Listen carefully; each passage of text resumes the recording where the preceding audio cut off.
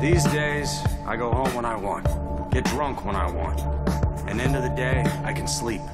Cause saving Gotham's not my job anymore. Hunting down Strange's freaks pays the rent plenty. Let someone else serve and protect.